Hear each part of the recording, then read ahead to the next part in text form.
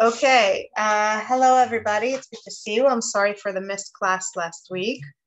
Um, uh, nice to see all your familiar faces here or some of your names uh, and to be here together again. Um, today, we're going to talk about one of the most enigmatic, complicated, heartrending relationships, to my opinion, in the entire uh, book of Genesis and the entire book of Bereshit, which is the relationship between two brothers, Yaakov and Esav, Jacob and Esav. And the reason I call it enigmatic, and we will see it at length when we unpack it together today, is that the text itself, the pshat, the narrative as it is written in the book of Genesis, doesn't vilify um, Esav. It doesn't kind of turn the story into the bad brother and the good brother. It shows us two very different brothers and their complicated relationships and how their parents' actions complicate their relationships, etc. But um, since this one fragile, complicated relationship became kind of um, the schematic foreshadowing in our culture of our relationship with Christianity, our relationship with Rome, our relationship with all the entities we identify with Esav over, you know, over history. Um, many commentators, both religious and not religious, and by the way, also Christians, went back to the story of Jacob and Esav and read into it or unpacked from within it um, other layers or other possible interpretations that overall tended to present Esav as much more negative, uh, much more problematic uh, than he is presented in the simple words of the text. Which makes our job when we're trying to see what the story, what the biblical story has to say about relationships, a little bit difficult when we're trying to figure out what this story can teach us about relationships, because we need to kind of dig our way through layers of interpretations that have to do less with interpersonal relationships and war with there I call it international relationships between nations.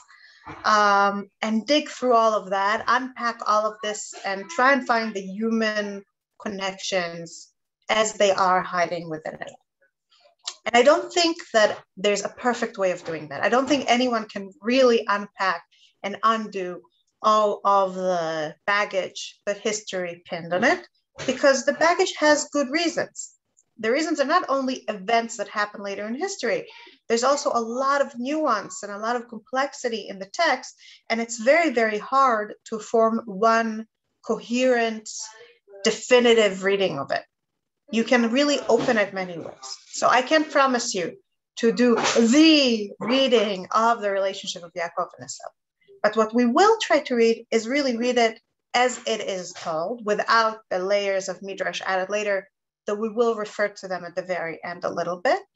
Um, and what we will also try to do is we will try to put ourselves in the shoes of the people in the story and use our own human experiences to illuminate a little bit more um, some of this text. Excuse me for a second.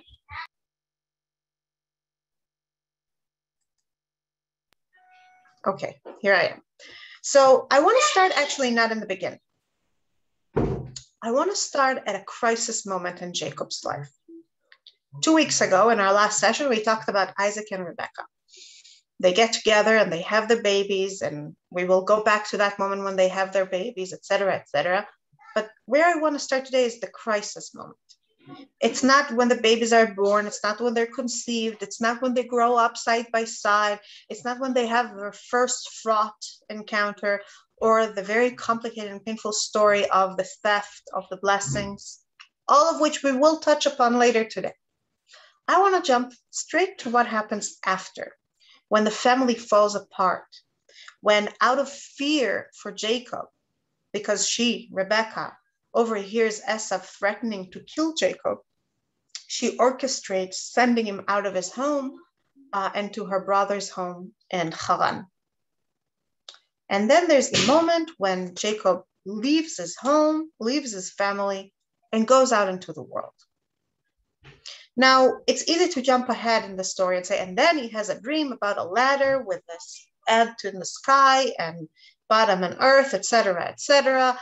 And then he meets Rachel, and then he marries Leah. The, the, Jacob's story is so thick with events that it's easy to just keep moving from one to the next. But I want to really pause. I want to really stop and focus on that moment when Jacob is leaving his home. Let's look at the pasuk. Let's look at the verse. The verse says as following. I'm in the source sheet in box one if you have it printed and prefer to look at it this way. In Genesis 28, um, it's a mistake here, it's just verse 10. Jacob left Beersheba and set out for Haran, except that's not what it says. It says not left Beersheba, it says Vayetse. He went out of. The verb going out, the verb going out of in Hebrew, Vayetse, um, places the emphasis not on the destination, but rather on the origin point. What's important here is not um, his purpose, his mission. Jacob personally has two missions one to evade his brother, and the other, as we will discuss later, to find a wife. That's not the point. When you use the verb vayetse, the emphasis is that you're no longer in. There's an in, and you're no longer part of it. I'm not saying that the story doesn't go on to say what his purpose is. It does say, and set out for Haran. He has a destination in mind. He's not like Abraham wandering, unknowing, without knowing where he's going to land in the end. He knows where he's going. But the verb that's used to describe his leaving is vayetse. I want to give you two other examples, the two other times that this particular verb in this particular um, way is used in the story of Jacob's family. One is one we already saw last week, not last week, two weeks ago, last class, when we discussed uh, Isaac and Rebecca's marriage. I'm jumping ahead to Genesis 24 63. And Isaac went out walking in the field toward evening, and looking up, he saw camels approaching. In Hebrew, Vayetse Yitzchak lasuach basadeh. So lasuach basadeh to walk in the field, even though some commentators say it's more accurate to say to pray in the field or to converse in the field, gives us his goal. There's a mission, there's something he's going to do. But first, what we know is that he's going out. Now, we already know that what follows is a moment of great transformation. This is a moment when he meets his wife, Rebecca, who's going to rock his world and change him and change his life and unlock a lot of his potential and make him, in a sense, the hero of the story instead of Abraham, enable him to become the hero of the story, to step into the center stage place, the limelight, so to speak. And in a sense, knowing that, we go back to this verb, the verb vayetse, Yitzchak, and he went out, and we can see in it not only um, physical descriptor of a man walking the field, a man going from one place to another, but rather a descriptor of a state of mind. Here is a man who is open for change, who is ready to change. He's going out of whoever he used to be, of the place where he used to be. Something gets unstuck, and now something can happen. It's even more this kind of subtle shading of this verb, or the subtle connotation of this verb, becomes even clearer in the other vayetse that's in this family story, and this is the Vayetze that describes the birth of Esav, not Jacob, Esav. I'm going to the middle quote here, Genesis 25, 25. The first one, the first baby, emerged in Hebrew, Vayetze, went out, red, like a hairy mantle all over, so they named him Esav. What is more total? What is more complete in terms of going out than coming out of the womb?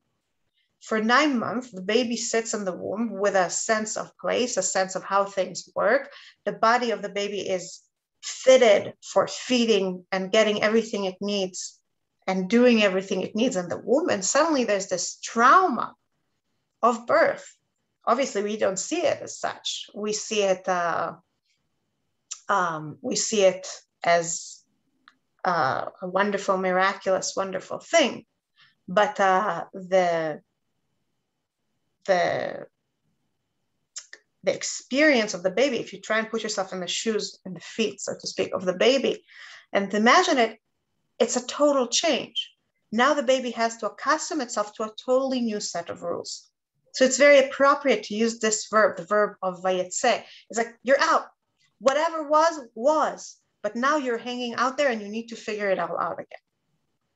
And it's very appropriate that in the little family drama of four with four voices of Isaac, Rebecca, Jacob, and Esav, this verb is used to describe the moment when Jacob steps out of it for the first time. He's no longer defined by it. He has to run away from it. He can no longer be part of this family drama. He has to go elsewhere. And he will find elsewhere. And next week we will dis- discuss the elsewhere and what he finds there at great length because he forms other very significant relationships there. But I, I really wanted to start with that moment, the moment when whatever was is in the past, is in the in in the system you're no longer part of, and you're hanging there before you have something new to anchor you, before you have a new system that defines who you are and what's your place in the world. To understand how Jacob gets to this point and to understand what happens after he gets to this point, we need to understand what was the in, what was the system that defined him and through which he defined himself for the first stage of his life. And this is going to be the bulk of what we do now. I noticed in the comments that people pointed out that le'a and dina will later be described with the same verb, vatetse, vatetse. It is significant, and we'll talk about it when we talk about um, Jacob's familial relationships in the family he forms, as opposed to the family he's born into um, in the next few weeks. But today we're really going to focus on his birth family. So let's start, let's get introduced to who are the actors in the drama that plays out in the household of Isaac and Rebecca. And I'm going to the source sheet um, to box number two. This is the story of Isaac, son of Abraham. Abraham begot Isaac. Of course, in Hebrew, story is not exactly right. It's toldot, it means the generations, um, it's a little more, it's a history, it's a little more general, but many commentators pointed out that it's significant that when we say, what is the story of Isaac, the first thing we know about him is that he's Abraham's son, which fits into what we discussed last time, namely that Isaac is very much a follower. He is the man whose job is to take his father's great original covenant with God and follow it, keep on walking in the same path instead of creating a new path. So we already have a little bit of a sense of the father in this scene. Isaac was 40 years old when he took to wife Rebekah, daughter of Betuel the Aramean of Padan Aram, sister of Lavan the Aramean. Why do we need to know about her father and brother? Why is it significant? Other than the fact that we're doing a genealogical description here, why is it significant at this point? We'll come back to that. Isaac pleaded with the Lord on behalf of his wife because she was barren. And the Lord responded to his plea, and his wife Rebecca conceived. This is a short verse and yet an odd one. A more natural way to describe it would be Rebecca was barren, she had no children, and therefore Isaac prayed to God to um, to give her children, and God complied. Usually, this is how the biblical story goes. It goes chronologically. It tells us this happened, and therefore this happened, and therefore this happened. Here, it's as if the fact of the barrenness is swallowed up. It's minimized. It's pushed into a clause because she was barren. It's almost an aside, an afterthought. Just, oh yeah, I need to the important thing is that he prayed and got kids. Oh, yeah, she was barren. So he had to do that. And this is another significant hint here the fact that the barrenness is not center stage, but rather the prayer and God's acquiescence. And we'll come back to why later. We'll ask why later. But his children, the children, struggled in her womb. In Hebrew, it says, Va'itotzetsu. And the commentators ask, what on earth does this mean? This is a weird wording. The children did what in her womb, in her inside? So one interpretation is struggled, indeed. Another interpretation can be um, can have to do with hitting each other. It's not just struggling with each other; it's the actual act of hitting there's a word in Hebrew, lerotzets. It's a terrible word. It's used for description of killing people with a rock or things. It's like really hitting someone hard enough to kill. So that's another interpretation. Another interpretation, um, which has very nice kind of shadow later in the story, and we'll come to this again later, is running. Ritza. In modern Hebrew, you say lautz, to run. And there's indeed this meaning here that maybe they're just running from place to place. They're moving so intensively within her womb that they're causing her this feeling that there's a race going on inside her. But what's interesting here is not just the fact that her babies are behaving in this um, unusually active, perhaps violent way. What's interesting is her response. Because Rebecca doesn't go to her husband. Rebecca doesn't ignore it. Rebecca, the woman whom we met last week and whom we saw being active and taking initiative and taking control of a situation and responding to things and asking questions of the slaves when she sees Isaac and wants to know who he is, does the same thing here. She takes initiative. First of all, she comes up with a question and then she finds someone to address the question to. And the question is interesting. The question in Hebrew is Lama ze anochi. They translated here, why do I exist? And it's an odd question because it's very open mind, open-ended. She doesn't say, why do my babies run around? She doesn't say, why is my pregnancy so difficult?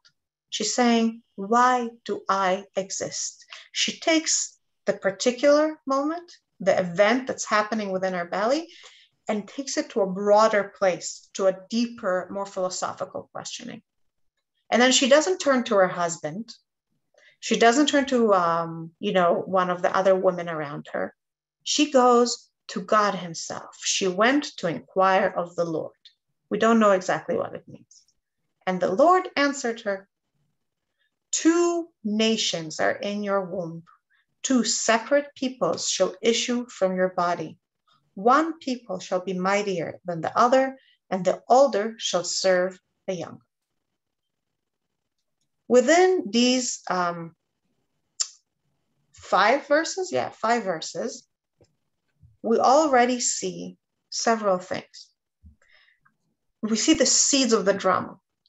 We see Isaac, who talks to God, but doesn't talk to Rebecca and who has a very special relationship with God. The emphasis is on his prayer and God answering him, and not on the problem that Rebecca has, her barrenness, that necessitates this relationship at this moment or activates the relationship.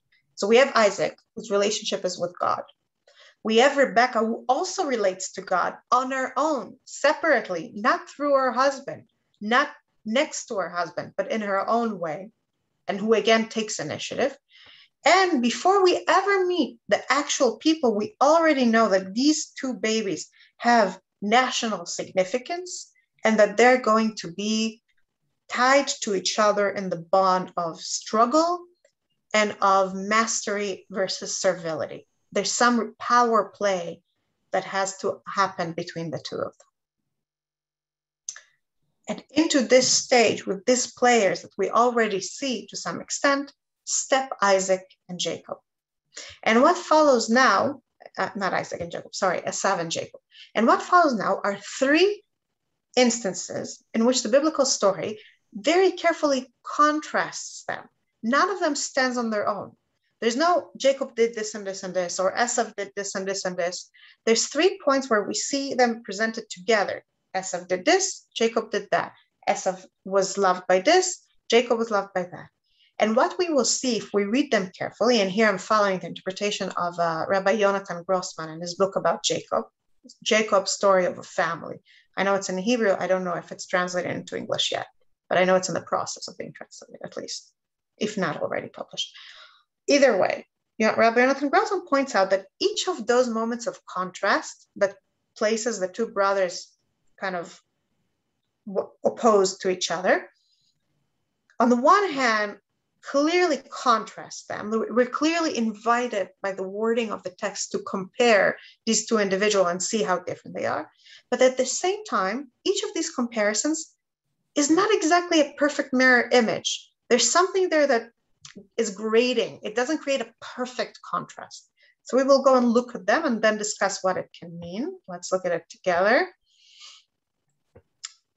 I'm in box number three. When her time to give birth was at hand, there were twins in her womb. We're not surprised. We already heard the prophecy or the oracle, and we know. And now let's see how they're contrasted.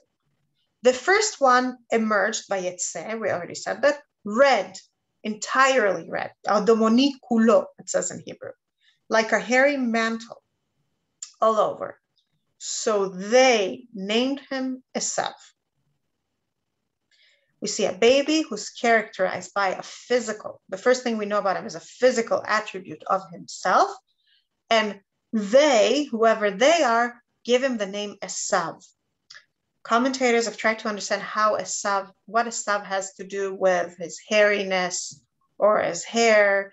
And they said that maybe it's a Esav is very similar to the word asui, which means made, complete, because it was a hairy like an older person, like a like an already matured person.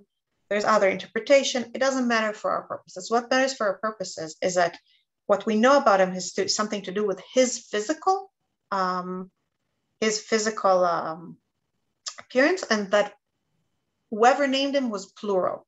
Maybe it's Yitzchak and Rebecca. Maybe it's Rebecca and her women. Maybe it's Isaac and Abraham. We don't know, but it's not one person who named. Then his brother emerged, holding on to the heel of Esav. So they named him, it's not they, it's he named him Jacob. It looks very similar, right? We hear about one coming out, emerging, and then the other coming out. We hear something about the first and something about the second, and we hear the name of the first and the name of the second, but the parallel is broken because what we hear about the first, the characteristic we hear about the first has to do with his physical appearance, whereas the other one, we hear something he did, an action, him holding the heel of his brother. And the name, his name Yaakov, has to do with the word akev, heel. It has to do with that action he was born with, holding the heel of his brother. So it's not exactly parallel. A physical descriptor and a descriptor of an action are not exactly the same.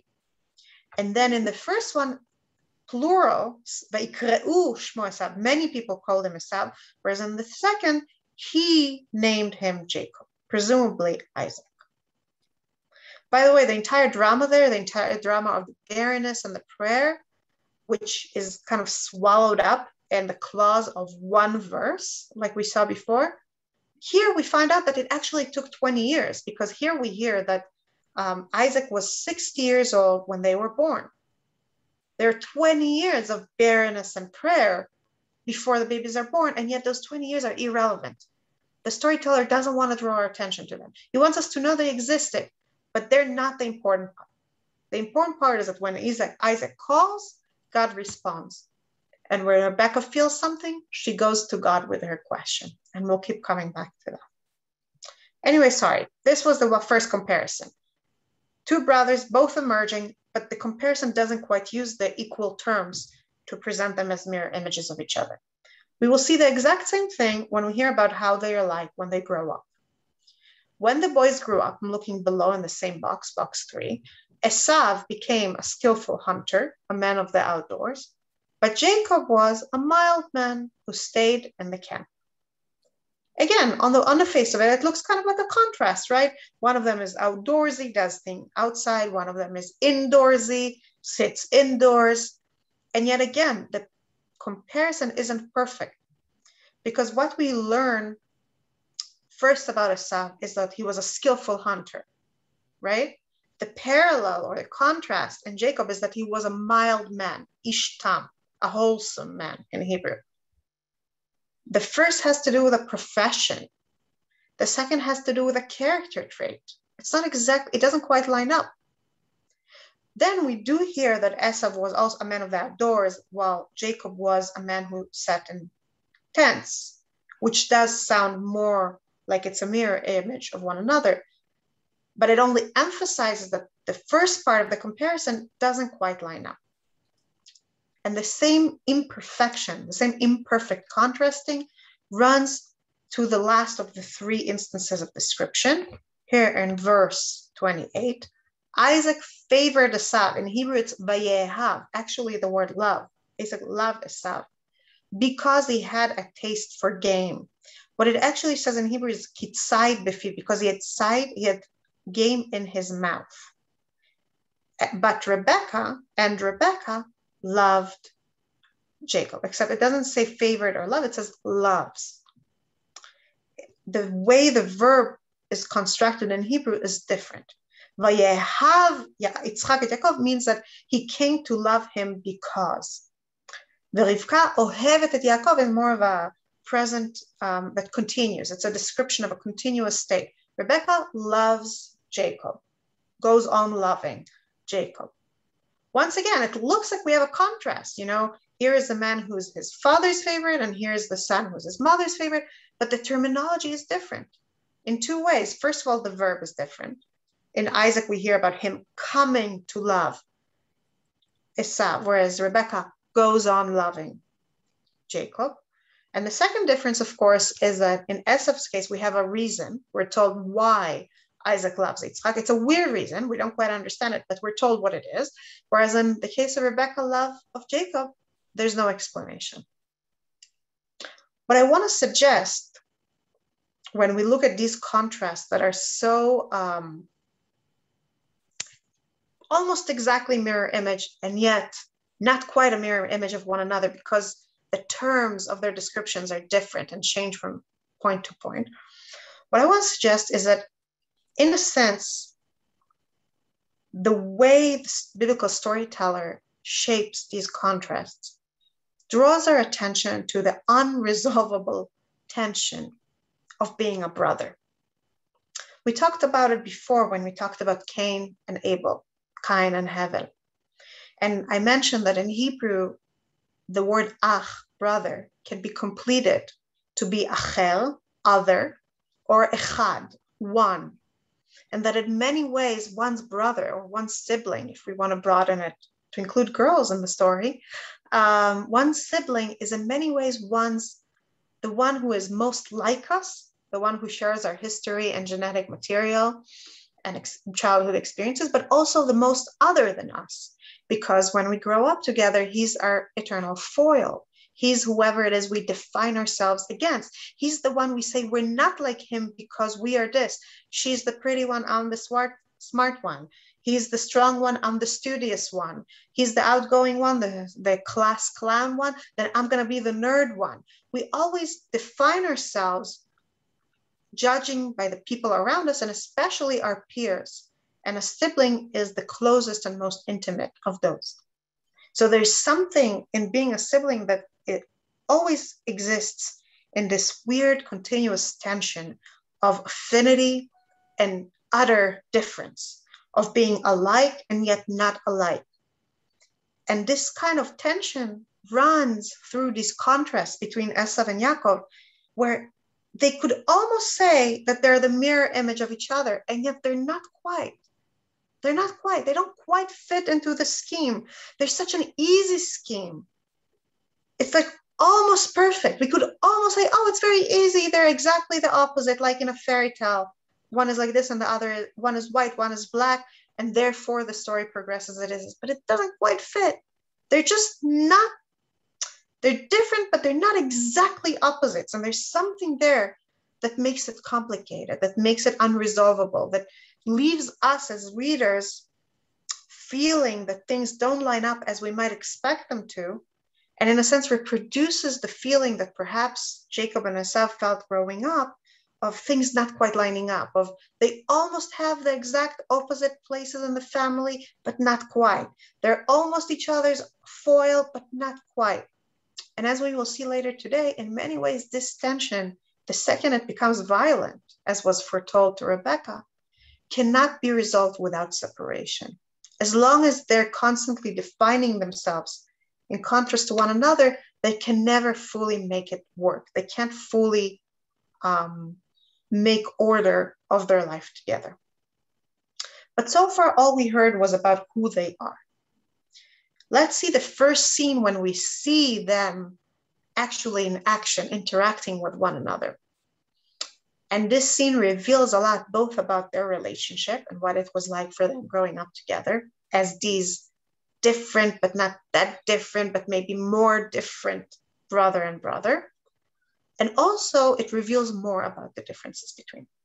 And this is the famous scene of um, selling the right of the firstborn. I want to first say that there's a lot of mysteries in this scene. Esav, by virtue of being, coming out of the womb minutes earlier, is the firstborn. And Jacob wants to buy this right of him. But what does it mean?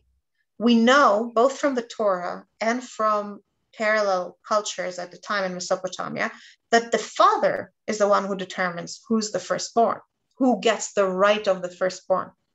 The father decides that Yehuda and not Reuven, for example, one generation down the line, will be the heir of the covenant or the leader of his family. So, what does it mean? Why, why does it matter to Jacob to buy it from Esav? He should focus on buying his father's favor. Why is he even getting it from Esav? What does it mean? We don't know. Some commentators suggest that what we're talking about here is monetary issues. The firstborn gets double in inheritance, and that Jacob is trying to get that. But even that doesn't seem quite right because what we know, at least from other Mesopotamian cultures, again, we don't have enough uh, substantive evidence of this in Tanakh, in the Bible, to say from there. But what we know from parallel cultures is that um, it, those kinds of deals are not can't be defined as I buy your right of the firstborn, but rather I buy a piece of property from you. There were contracts like this. But the form of contract that Esav and Jacob form in this scene, which we will read now, where Jacob just buys the right of the firstborn, whatever it means, don't mean anything in contractual terms in the ancient world. So we don't even know what's going on here. Setting this mystery aside and assuming that the people participating in the story do know what they're talking about and that it means something to them, Let's see how they relate to each other surrounding it. Once, when Jacob, I'm in box four, sorry. Once, when Jacob was cooking a stew, Esav came in from the open, famished. He, he came in from the sadeh, the field, the place that he is a man of. He's ish sadeh, right? He's the man of the field. And he, in Hebrew, modern Hebrew, ayef is is um, translated tired, but in biblical Hebrew, the word ayef is indeed used more to describe famished, hungry, and thirsty.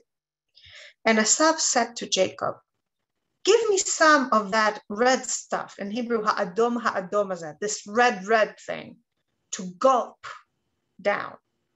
He uses in Hebrew the word hal iteni, which is the word that's used to describe feeding an animal, like stuff an animal's face with food for I am famished, which is why he was named Edom. It's like the, the biblical editor kicks in and say he wants the red stuff, and this is why later he will be called Edom.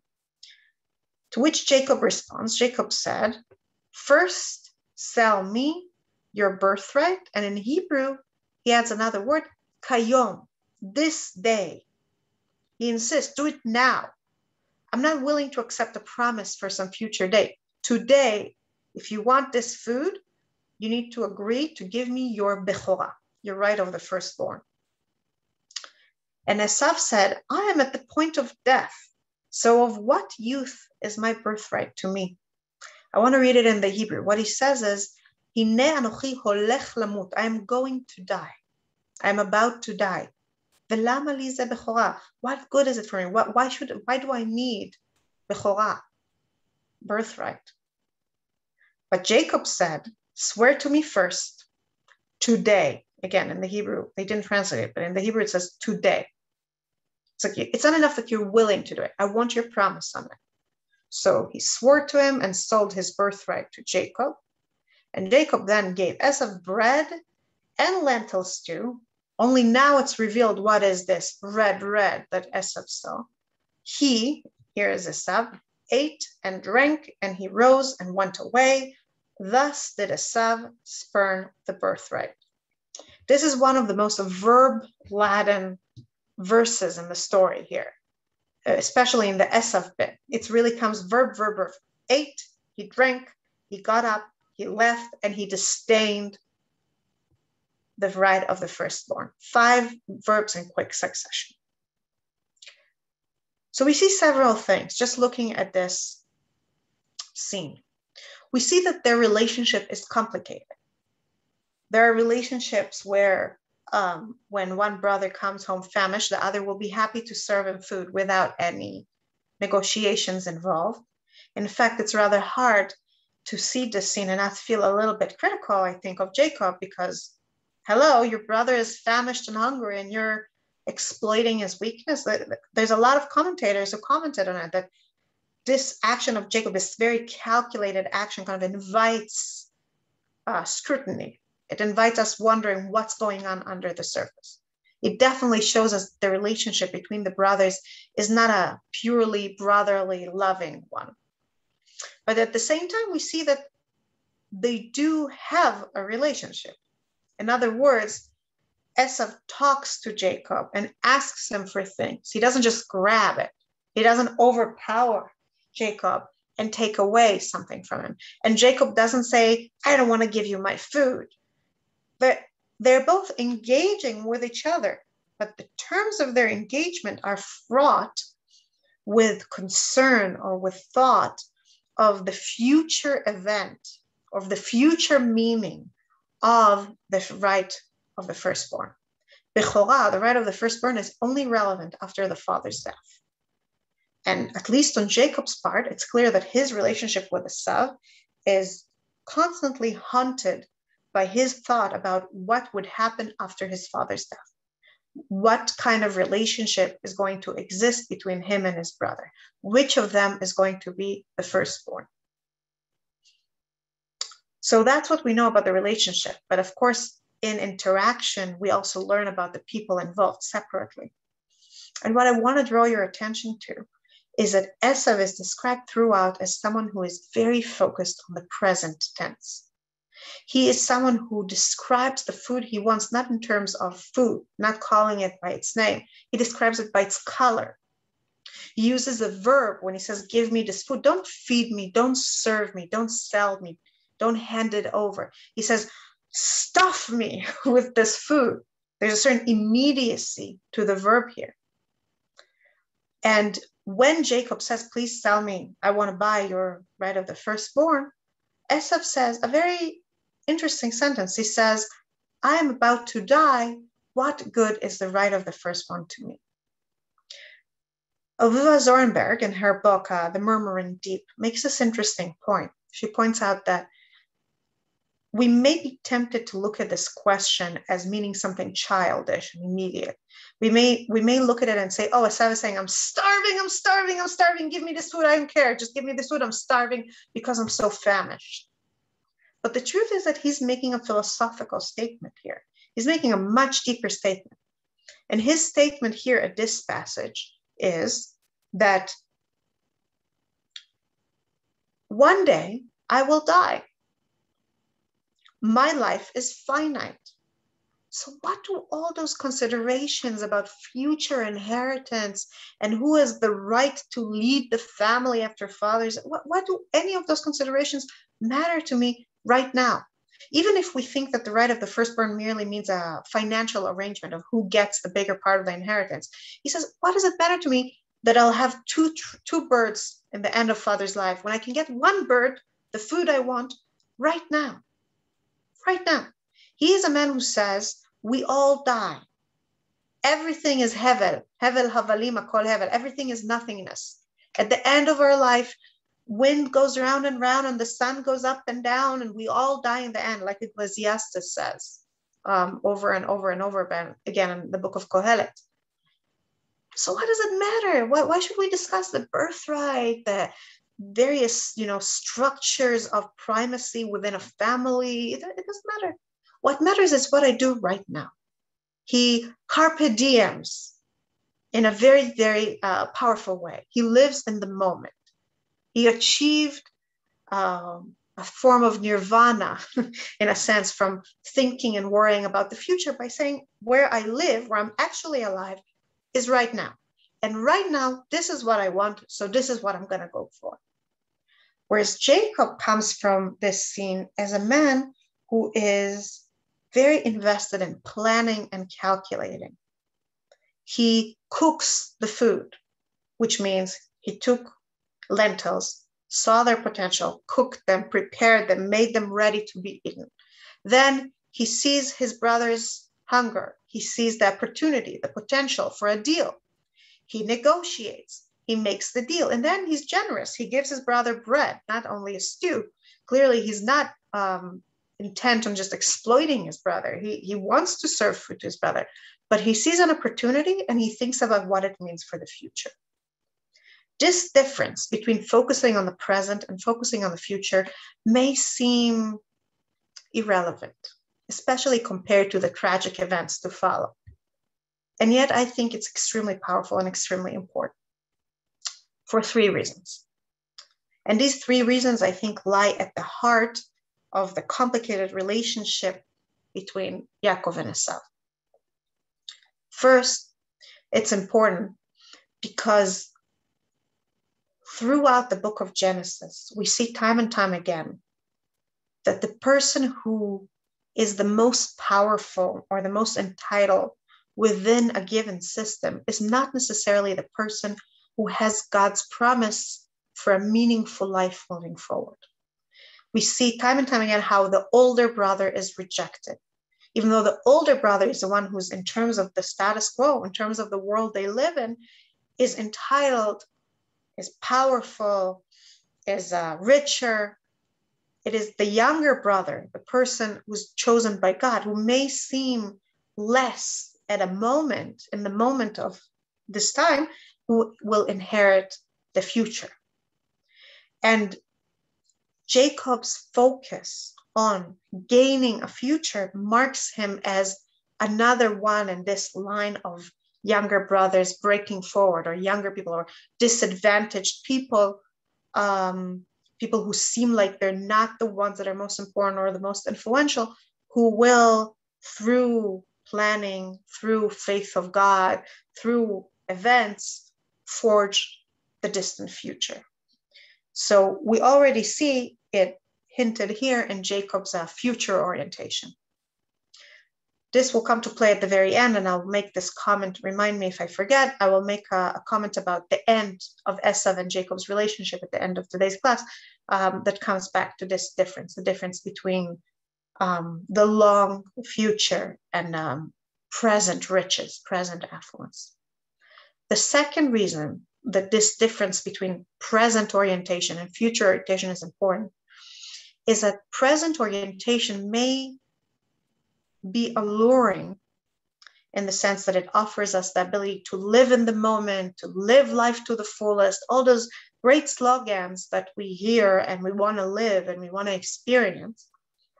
But in a way, it also takes away some of our liberty or perhaps I should say, it offers us a very particular form of liberty but takes away another. It offer, offers us a liberty from worry because we focus on the present instead of worrying about the future. But it doesn't allow us the liberty, the kind of proactive liberty of taking our ideas, taking our values, and shaping the world through them. Because in order to do that, we need to think ahead. We need to plan. We need to project what we believe in today into what we and other people will do tomorrow. So there's a wonderful, wonderful book, nothing to do with Judaism, and yet a wonderful, just perfect for this book um, called Time and the Art of Living by Robert Grudin, where he shares a lot of reflections about time and what it means to live in time. If you read it, um, I'm sure it meant something to you. And if you haven't, I highly recommend it. And he talks about how when we focus too much on the present, um, we never create something of significance. I want to read here in the middle of the box. To those of us who spend entire days, if not lifetimes, concentrating on a series of brief and insignificant things, the present has barely any meaning at all. We may think we're living in the present, but what really happens is that the present passes and it leaves no mark. We become tiny, timorous things caught in the inch of space between the in and the out box, while we may share the common illusions about a mobile present and a free future, we spend most of our lives house cleaning the past. And later he says that we also shuffle backwards into the future. He says in a different spot, and I'm going to go ahead, I'm go, going up here. I'm sorry that I'm jumping up and down, but I'm going up now to the earlier quote from the same book. He says the following um, Free men and women can think across time, viewing their own lives, inclusive of past, present, as future, as architectural wholes, static in mental space. They can therefore see, as others cannot, the cracks and buttresses of repeated action, the points of stress, the established framework. And as he says over and over and over again in this book, they can project who they are into the distant future. Esav, by focusing on the red and the feed me, feed me, feed me, and what do I care about the future when one day I'm going to die and it's going to be meaningless anyway?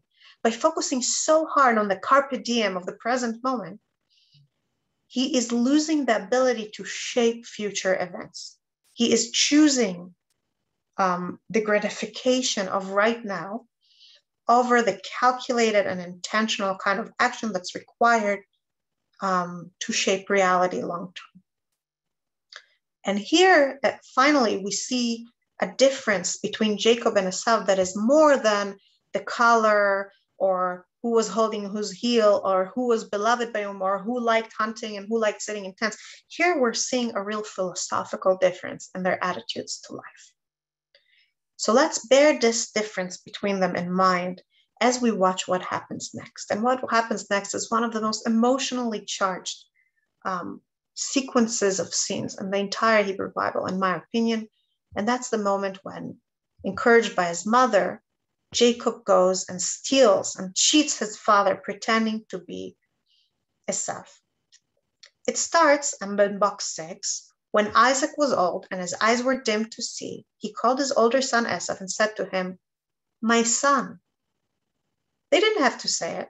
They could say, Oh, he called his son and told him to do this and this. But there's intimacy here. Isaac looks at Esau and says, My son. And what does his son say? He says, Hineni, here I am. I am here for you. I am here in the moment. This is exact when Abraham took Isaac to be um, bound on the altar. Isaac said, Avi, my father. And Avram said, Hineni, here I am, my son. These are words that mark intimacy. And out of this intimacy and out of this love, Isaac asks his son Esav to go and hunt food and make him food and bring it to him.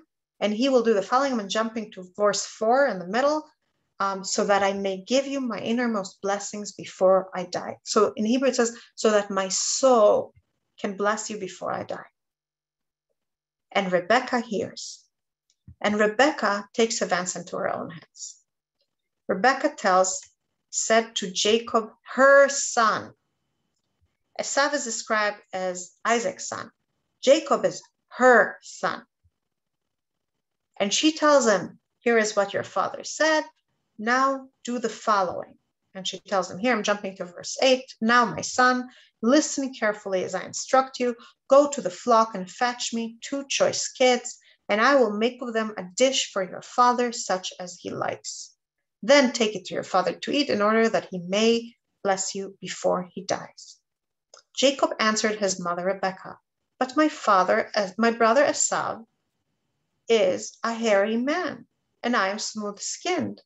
If my father touches me, I shall appear to him as a trickster and bring upon myself a curse, not a blessing. Avivah Zornberg points out that the word he's using when he says, If my father touches me, I shall appear to him, are very particular. He doesn't say im yemusheni achi, which would mean if, a neutral if. He says ulai yemusheni avi. Ulai has the intention, the connotations of desire. It's wistful. Perhaps my father will touch me. And it's almost as if he's hoping that his father will touch him. Why does the text use this word? Why is Jacob using a word that expresses a desire to be touched when being touched is dangerous for him because it can reveal his deception and bring a curse upon himself? Avivah Zornberg suggests that perhaps this is a moment of a Freudian slip when we see underneath um, Jacob's immediate concern about being discovered, we see his deeper concern, his deeper desire, suppressed perhaps.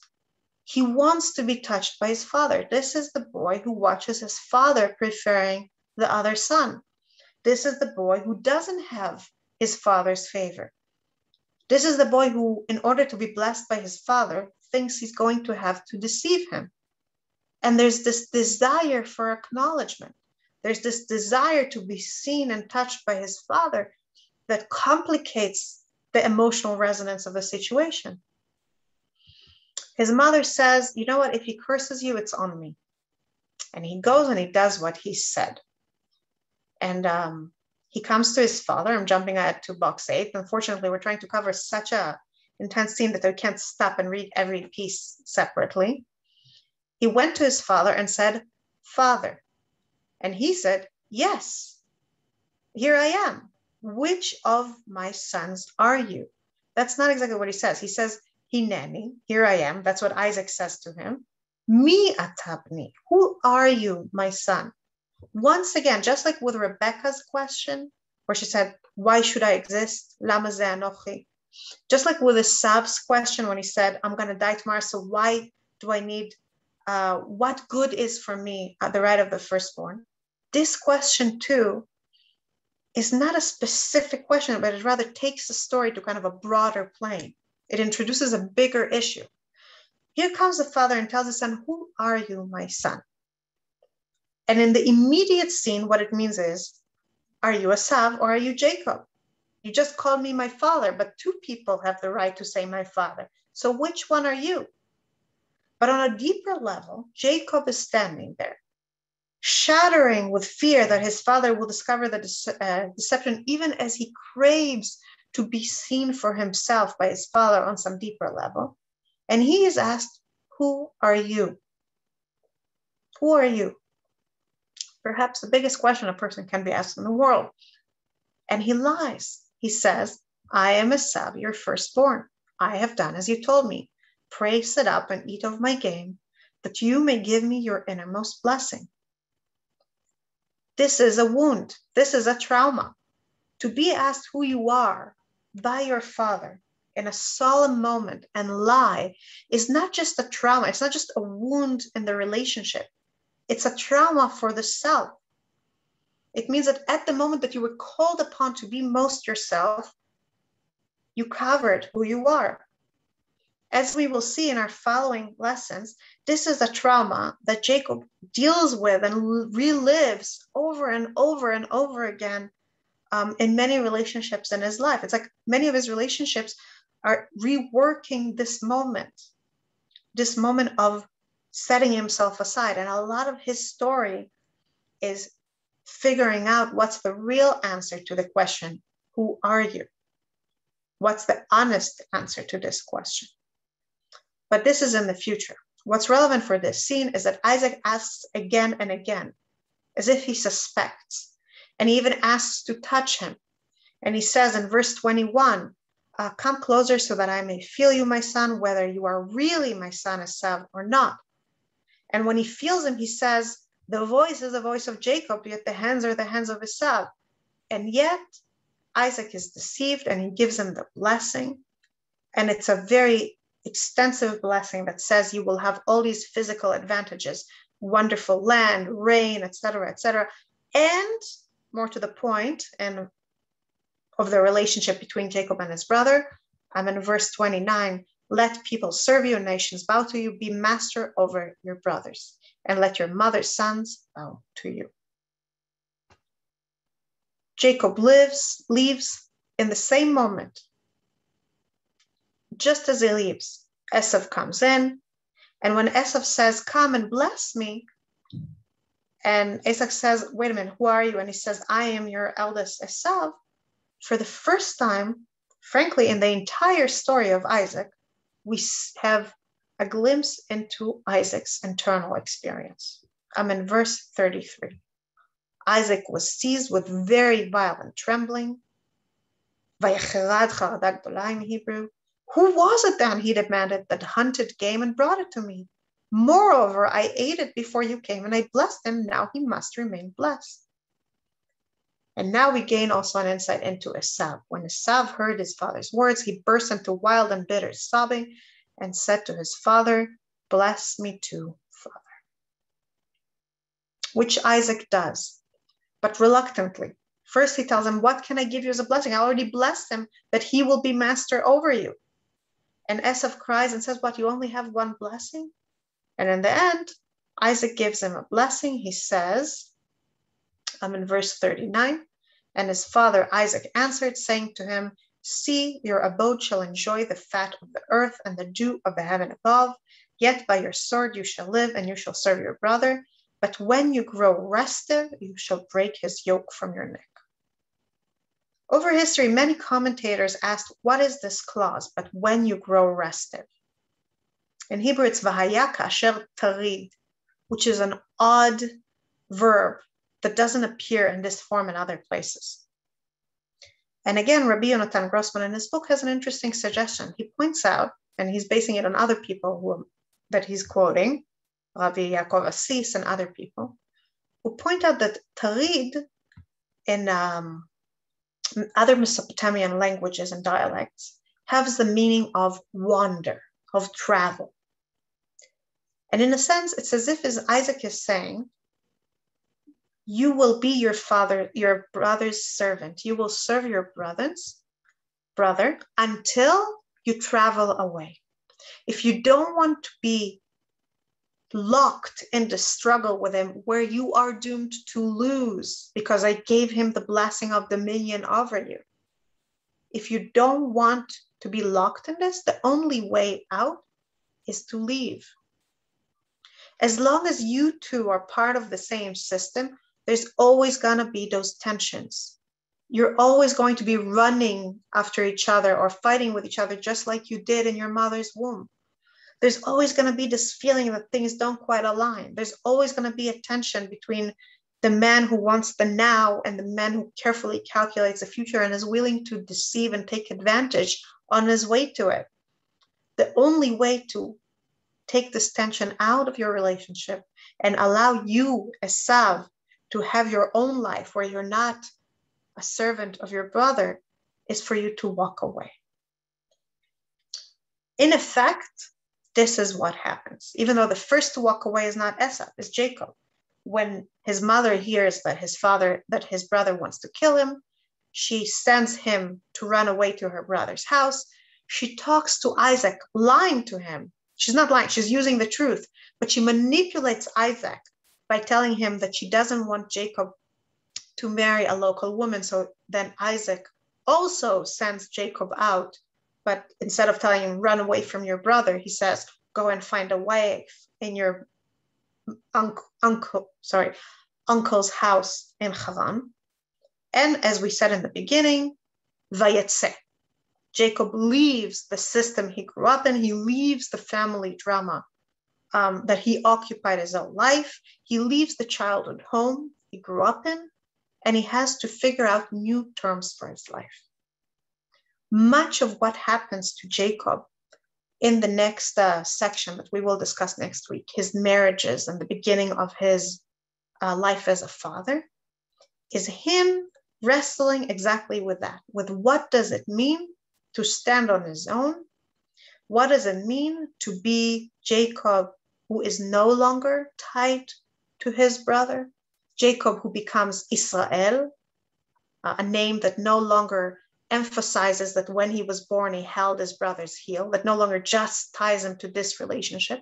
And a lot of his uh, life is going to be about how to become a man that can spring forth from the family that raised him, but stand as a man on his own right. And when he will come back, we will see this um, kind of foreshadowing what will happen after next week, after our next discussion. We will see that in fact, indeed, the brothers do separate. Esav goes to Sa'ir, Yaakov goes to Canaan, and each of them build their own life. I want to say one more comment, and then I will take a few minutes to answer some of the question. I just want to say one more comment. Um, we're leaving today kind of at frayed hand, at frayed ends. We can't say that we closed the story because Jacob's story continues. But I do want to talk for a moment about what happens in the final meeting, in the final reunion between Jacob and Esau. We just read it in shuls. Those who uh, read the Torah in shuls, we just read it this week. We read about how Jacob was scared, but then Esau ran towards him to hug him and kiss him. Again, kind of closing the circle with the running that the two boys did inside their mother's womb. And we see that Esau invites Jacob to come with him. And Jacob says, Oh, I have young children, I have all these sheep. I'll go le'iti. I will go slowly and I will meet you eventually. And then the next chapter tells us about Esav's great success, about how he had all these children who were great leaders and kings and alufim, champions. And in here, in the difference between Esav, who's building an empire right now in his lifetime with 400 men armies following him hither and thither, and great leaders springing forth right away, and Jacob, who walks slowly and lives in Sukkot and temporary structures, and yet follows a calling that God Himself calls him, we see another iteration on the same difference between the man who wants things now and the man who builds for the future. And we see how these personal differences will um, play on the international relationships that will uh, spring forth from their descendants. Thank you very much. Uh, thank you for being here today. Um, I'll take some of the questions from the comments for those who uh, can stay for a little longer. Um, I won't have time to go over everything. Um, Suri Rudolph asked, when Jacob ages and loses his sight and asks about Ephraim and Menashe, mi ele, like Isaac, uh, mi atabni. Oh, I think it's a comment, right? Not a question. But uh, uh, this is a very beautiful, I didn't think about it. This is a beautiful connection that um, Jacob will give a blessing to children that he would also be asking about at the end of his life. Um, Someone else wrote, Isaac dies much later than the day of the two blessings, and this exaggeration um, is this exaggeration an echo of the day Jacob brought the blessings from his brother, who also talked about dying. Um, do you want to elaborate what you mean? What's the exact, What I don't understand the context of the question. Um, so okay, so I'll try and answer it. Um, Yes. Uh, Jacob, uh, Esav doesn't die in the day he says, you know, if I don't have the food, mm-hmm. I'm going to die. And Isaac dies more than 20 years later. Mm-hmm. Because uh, oh. not until after Jacob comes home. So there's an exaggeration in both counts. Oh, I see. You say he says, "Give me food, so I'll bless you before I die." Right, right, right. I understand what you're saying. Um, it's an interesting echo. Yeah, that's an interesting parallel. I didn't think about it. I think it's a little different just in the sense that uh, Isaac um, is thinking about the future. He's thinking what will happen after his death. In other words, Isaac, when he thinks about death, wants to leave his affairs in order so that they move forward in an orderly way. Whereas when Esau thinks about his death, his conclusion is focus on the present, the future doesn't matter. So, in a sense, it's a really beautiful parallel that you're drawing because it highlights the difference as much as it highlights the similarity. So, thank you. Thank you for this comment. Um, a moment. Um, Elena Lubin wrote Esav is described as a man of the field, and in the sale of the birthright, he maintains that sort of image. Yaakov is described as a ishtam who stays home, and yet when you see him in his home, he seems to be anything but an ishtam, uh, innocent man, calculating and planning how to get the birthright. So I want to re- I, I want to thank you for the comment. It's a good comment, and I, I want to say something about that. That um, we have millennia of conditioning behind us in which we think that tmimut, tam, being kind of someone who's wholesome or innocent, means that um, you're also naive and kind of simple in the way you think about the world, that you don't calculate, you don't think ahead, you don't uh, negotiate. Um, I'm not sure that that's the meaning of the word here. I'm not sure that we can carry these kind of connotations that we associate with this word now back into the biblical story. Because in the biblical story, we see time and time again people who are very calculating. And Jacob is a leading example of this, as we will see in his dealings with his father in law.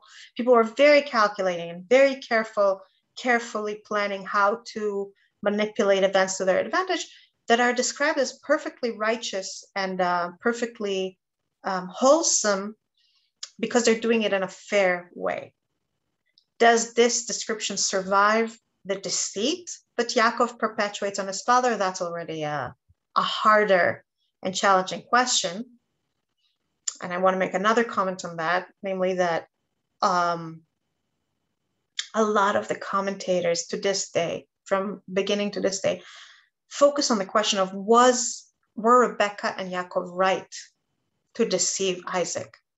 Were some I say they were totally right. Some say their purpose was right, but the means were wrong. Some say Rebecca misunderstood the situation. Jacob only um, Isaac meant to give one blessing to Esau, but he always meant to also give a different blessing to Jacob. There's a lot of different answers. What I was trying today is not to answer the question of right and wrong, but rather to watch the relationship. And in terms of the relationship, the cost is real no matter what you say about the right and wrong in philosophical terms or in terms of the future of the Jewish people, the, the family falls apart.